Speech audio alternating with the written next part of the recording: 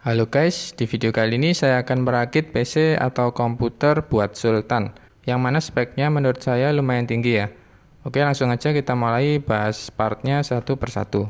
Pertama PSU-nya atau Power Supply Unitnya. Saya pakai merek Corsair tipe RM850 yang udah 80 plus gold. Karena part-partnya nanti sebagian adalah part yang mahal, jadi buat supply listriknya jangan pakai yang kaleng-kaleng. Karena PSU yang jelek bisa beresiko merusakkan part lain dalam PC. PSU ini sudah modular, jadi kita bisa menancapkan konektor yang dibutuhkan saja. Lebih rapi jadinya. Dalam paket pembelian RM850 ini kita akan mendapatkan tiga kabel CPU, satu kabel ke motherboard, dua kabel PCIe, satu kabel Molex, dan empat kabel SATA.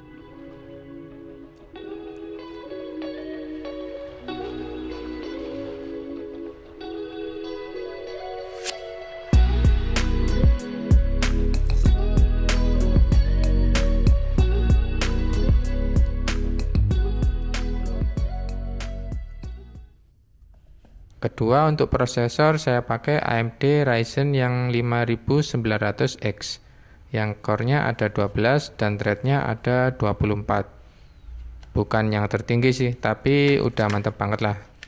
Dalam paket pembelian ini tidak termasuk kipas pendingin jadi heatsinknya dibeli secara terpisah.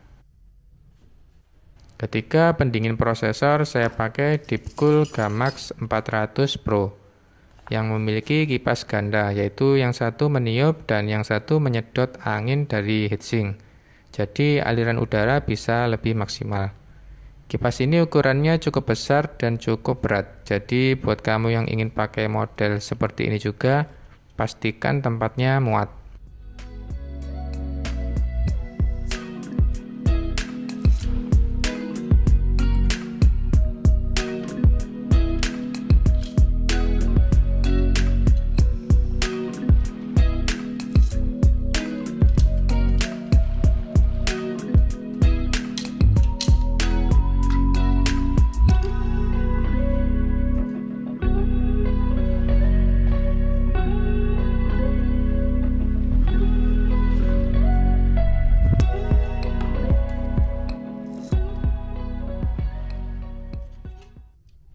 Keempat, memori RAM pakai Aorus 16GB dual channel DDR4. Jadi tiap keping RAM ini isinya 8GB. Ini yang versi RGB ya, ada lampu LED-nya.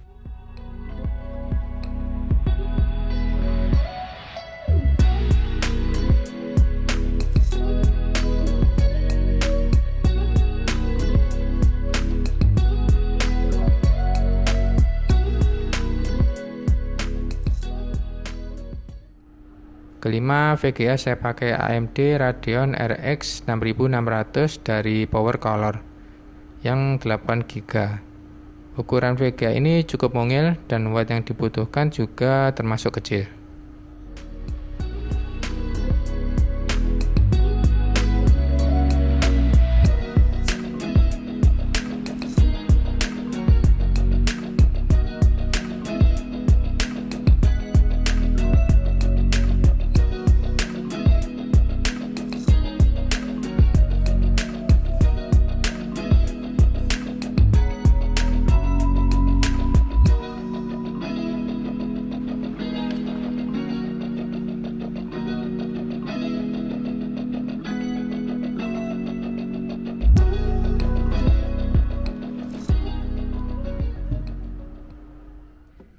Terakhir multiboard saya menggunakan Gigabyte Aorus X570 Elite.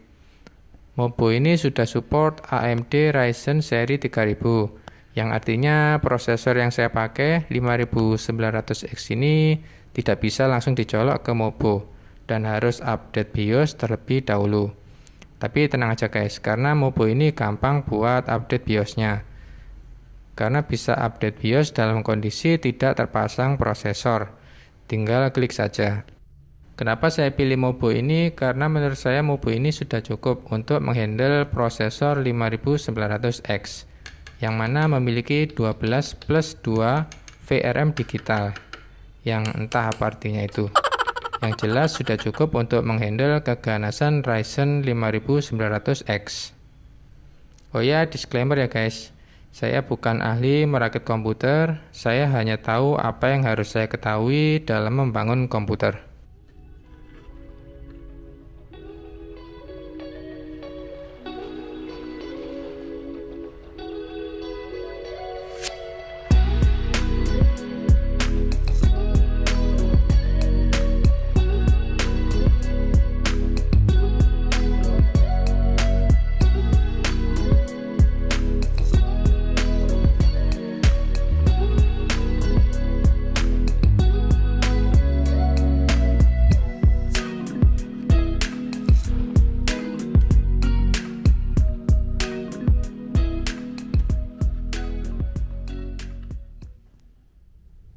Karena nantinya PC ini akan berbentuk open case alias tanpa casing sama sekali. Jadi saya berikan kaki-kaki supaya mopo tidak bersentuhan dengan bagian bawah alas. Untuk menghindari short atau korsleting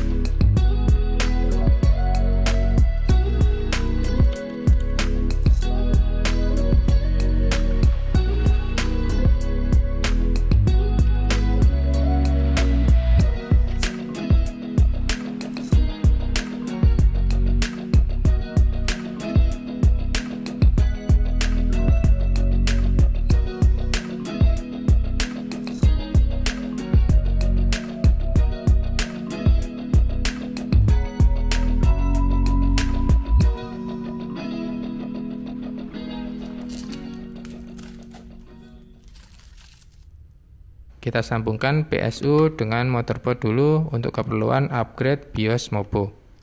Download filenya di web resmi Gigabyte. Cari file BIOS yang paling baru. Masukkan ke flash disk dan ganti nama menjadi gigabyte.bin. Nyalakan PSU. Flash disk masukkan ke colokan yang berwarna putih ini.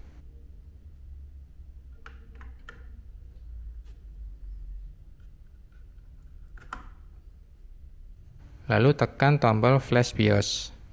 Lampu LED merah akan berkedip-kedip, tunggu sampai selesai berkedip dan mati. A few minutes later. Selesai upgrade BIOS, sekarang Mobo ini sudah support AMD Ryzen 5900X. Lanjut kita pasang prosesornya. Tapi sebelumnya kita pasang pendingin terlebih dahulu. Dudukan kipas yang ini kita lepas karena pada kipas Deepcool Gamax 400 Pro ini kita menggunakan dudukan yang sudah disediakan oleh Deepcool.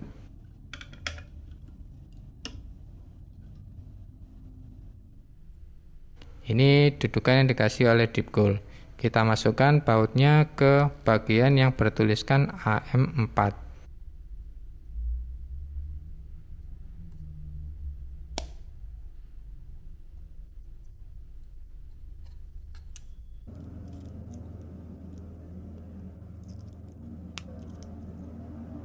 Setelah semua sudah masuk dengan rapat, lalu dudukan tadi kita masukkan ke mopo bagian bawah. Masukkan ring ke tiap bautnya, lalu kunci dengan mur. Tidak perlu terlalu rapat ya, pakai kekuatan tangan saja.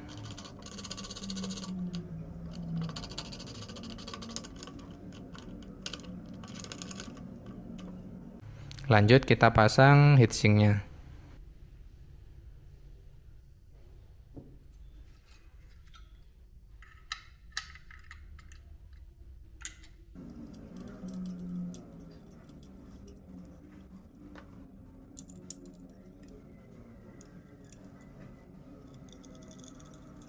Oke, ini heatsink sudah siap untuk dipasang. Tapi jangan dipasang dulu ya, prosesornya masih belum nancep. Kita pasang prosesornya, jangan sampai salah arah posisinya. Ada bagian segitiga di ujung prosesor, dan di Mobo juga ada tanda itu.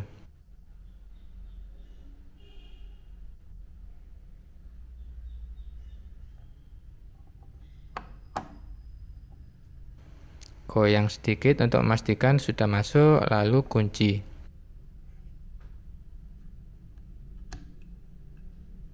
Oleskan pasta thermal yang sudah disediakan oleh Deepcool.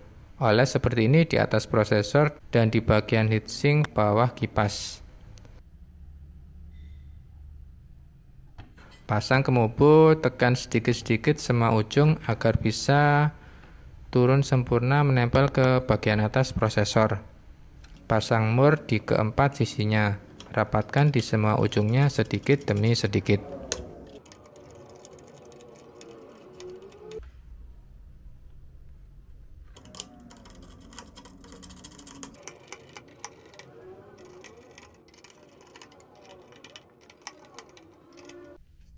Setelah selesai, pasang memori RAM terlebih dahulu sebelum kipas kembali dipasang pasang RAM di slot kedua dan keempat terlebih dahulu, sesuai skema.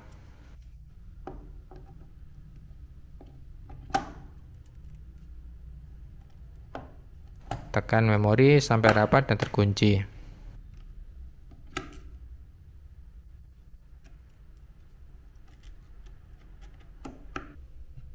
Selesai, sekarang pasang kipas.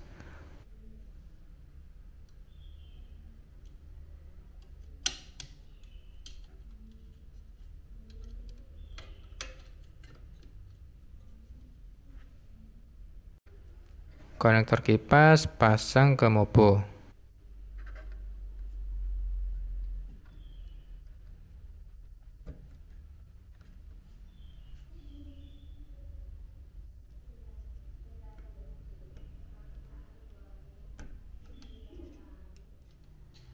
Sekarang kita coba tanpa monitor ya, karena saya hanya punya monitor dengan konektor VGA lama. Sedangkan VGA card Radeon ini hanya support konektor HDMI. Berfungsi normal.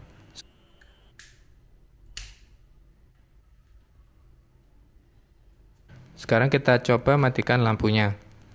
Nah, sudah mirip odong-odong belum? Lampu LED ini sebenarnya bisa kita atur di Windows. Download dulu program bawaan dari Gigabyte Aorus. Bisa di set warnanya, mode kedipan bisa dimatikan, kecuali untuk kipas heatsinknya itu tidak bisa diatur.